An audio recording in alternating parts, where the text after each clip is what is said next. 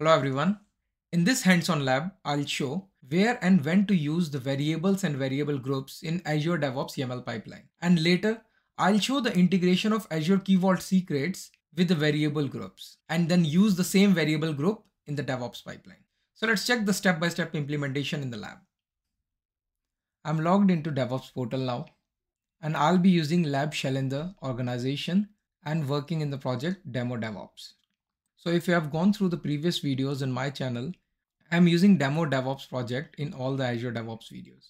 So now in this lab, first we'll deploy one key vault where we'll create two secrets, username and the password. And using those secrets, we'll deploy one virtual machine into the Azure environment. And for the creation of the virtual machine, I'll be using the ARM templates, which I have already created, and they are in the Azure DevOps repo, which I'll show you soon. Now in the pipeline, I'll be using the variables and the variable group and show when and how to use them. So let's start with the creation of Azure Key Vault. Let's go to Azure portal, look for key vaults, create a new key vault. Let's create a new resource group, RGKV. And let's name the key vault as lab key vault 0001. I'm in Australia, so I'll use the Australia East region. Standard pricing. Let's reduce the number of days to seven for the retention. And by default, we'll enable the role-based access control. Review and create and create.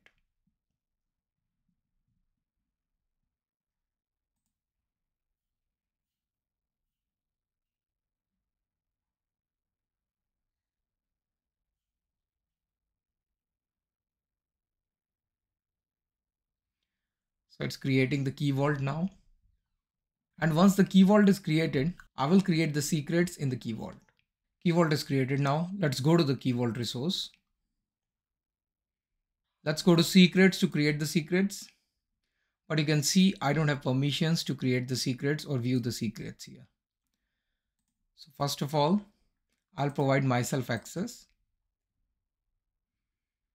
Because I just want to manage the secrets, so I'll provide myself Key Vault Secret Officer who can perform actions on the secrets.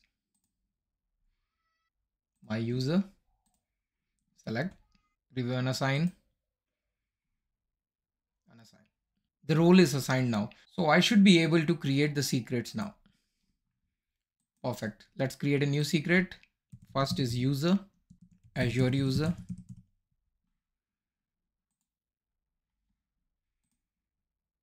And I'll create the password. These username and password are for the virtual machine.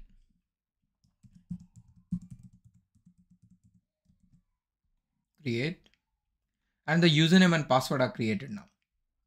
I can go and check these. I'll go to the current version, show secret value, and I can see the secret value of username. Now let's go back to Azure DevOps portal and go to the repositories. So I'll be using a repository with the name secrets. There I have one ARM template already ready. So what it is doing is it's getting some details from the parameters file, virtual machine name, admin username, admin user password, location, virtual network, virtual network CIDR, subnet, subnet CIDR, public IP name, NIC card, VM size. And then at first it's creating the virtual network then the subnet, then public IP address, network interface card, and finally the virtual machine. And there is another parameters file where most of the values are provided like the name of the virtual machine, location, virtual network name, CIDR, everything is provided except the admin username and admin password because we want to use the secrets from the key vault here. And there is another video which I have created using the key vault directly into the Azure DevOps pipeline. But in this video, we will be using the variable groups for that. So let's go to the pipelines and create a new pipeline. Where I'll select the source as Azure Repos Git. the secrets where we have deployed, where I'm keeping the ARM templates. So let's create a starter pipeline.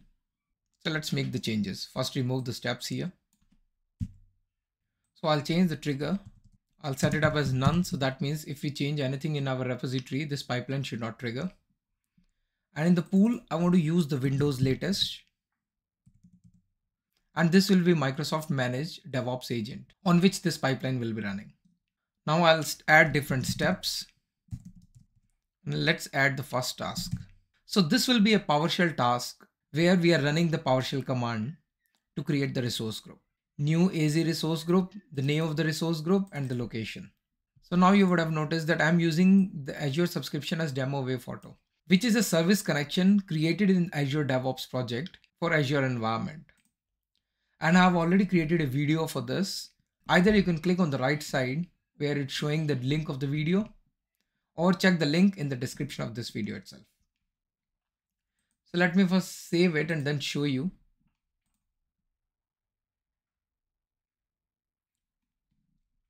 Now I'll show you the service connection in the project settings. Go to the pipeline service connection and there is one service connection with the name demo wave photo which is created.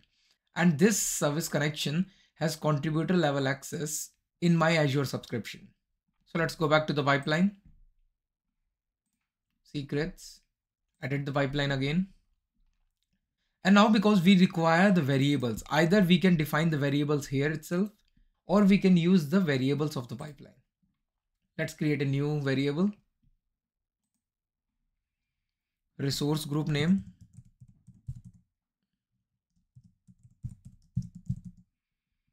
Let's name it as rg variable group test. Okay.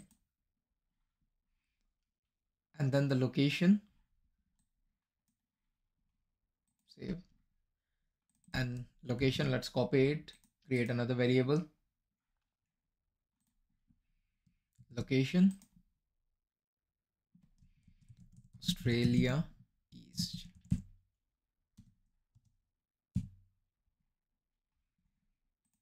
Okay. And if you'll click here, you can use the variable in the script also. So in the case of the PowerShell, you need to define the variables like this. So let's copy this.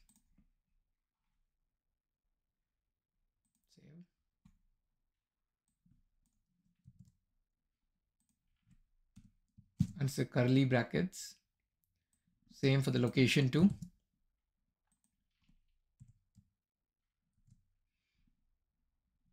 Now let's run this pipeline to see if the pipeline variables are running or not. And before that, I want to show while creating the variables, if you'll click on this, it will become a secret variable. And these variables are specific to the pipeline and can only be used within the same pipeline. So let's close this, validate and save and save. Now run this pipeline and see if it's working fine.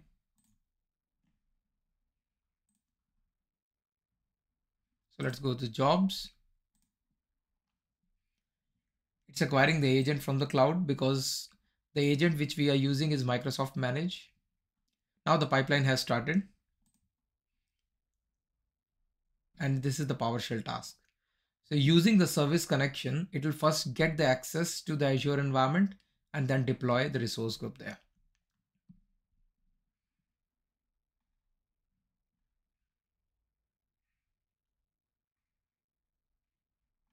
So it got the access. And now resource group is deployed. Let's go to the Azure portal and check the resource group.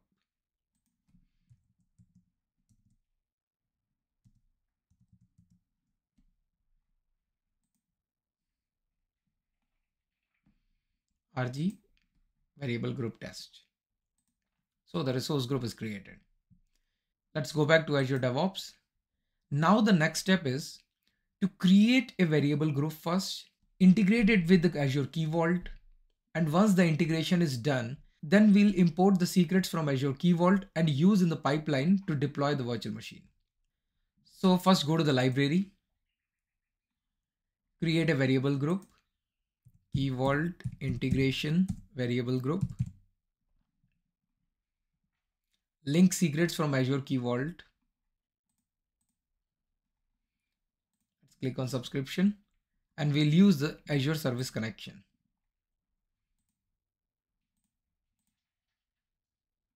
And this is the Key Vault which we have selected. Now this service connection doesn't have access on the Azure Key Vault. Either we can authorize from here, then it will take us to Azure portal, or we can go to the project settings, leave, we'll create it again. Service connection. So manage service principal. So from here we can know which service principal is created. Lab Shailendra Demo DevOps. So now let's go to Azure Key Vault. Provide the access. We need to provide the read access to the secrets. So add a role assignment look for key vault secrets. And there is a secret user which can read the secret contents only. Next. Now select the service principal which was lab Shailendra. Select. Review and assign. And assign. Now the role assignment is done.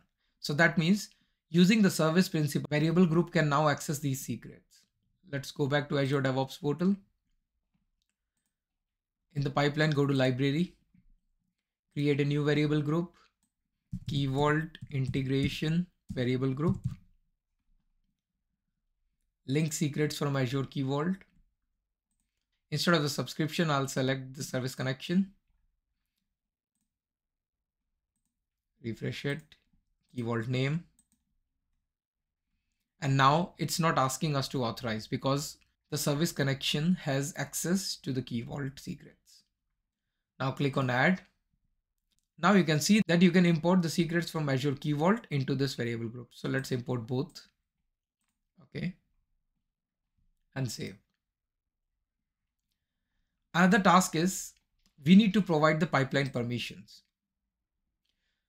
So either we need to provide to a specific pipeline, there is only one secret pipeline or you can provide to all pipeline. So if you provide the open access, so that access means all the pipelines can access this variable group. So, but I want to provide it to only specific pipeline. This is secrets. And actually this is the benefit of using variable groups so that that variable group can be shared among different pipelines. And you don't need to create the secrets again and again for each and every pipeline like we just did in the pipeline variables. So access is provided to the pipeline now. Let's go back to our pipeline. Here, edit. And let's add another task. Look for ARM template deployment. Deployment scope is resource group, service connection, subscription. There is only one Visual Studio subscription. It's create or update the resource group let's select the resource group name. Rg-vg test. Yep. Oh my bad. Instead of naming it as rg i named it as rh location australia east. Now the template location will be linked artifact and we want to fetch the template from the repository. So let me provide the values. This is how we can look for the vnet template and vnet parameters. And we need to define these variables into the pipeline itself. So let's first add them. Let's define in the pipeline variables vnet parameters.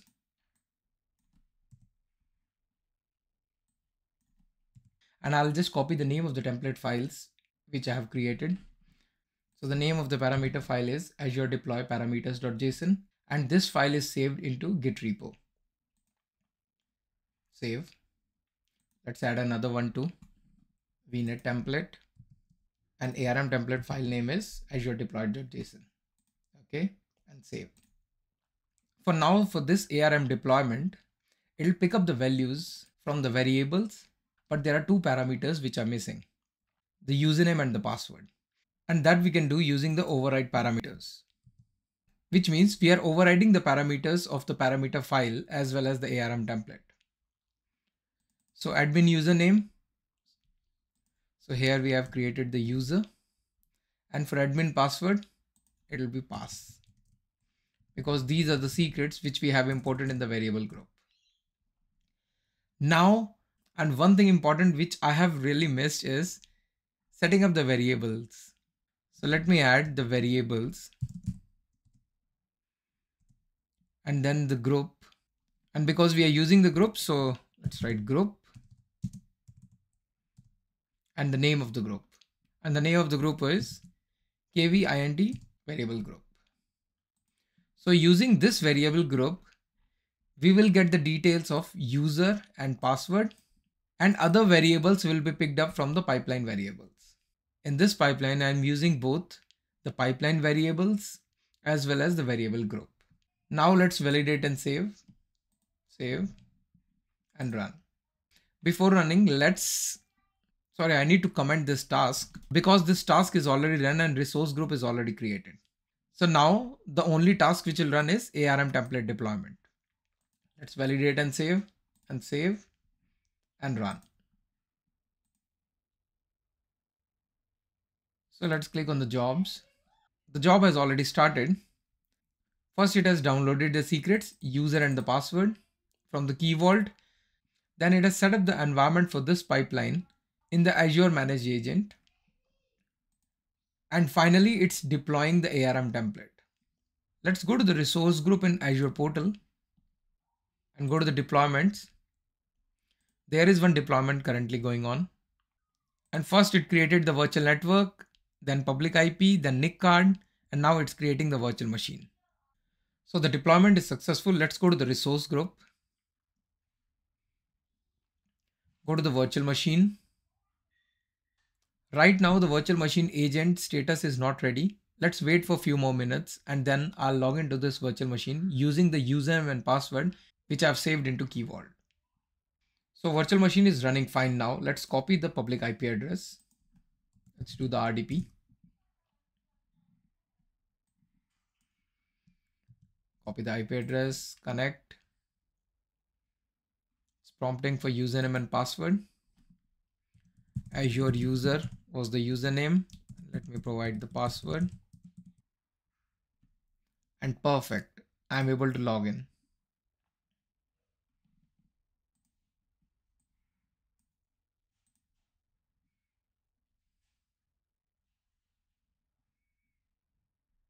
So let me close the session. So to summarize this video, we have created a key vault in which we created two secrets, username and the password. And we use those secrets in the variable group.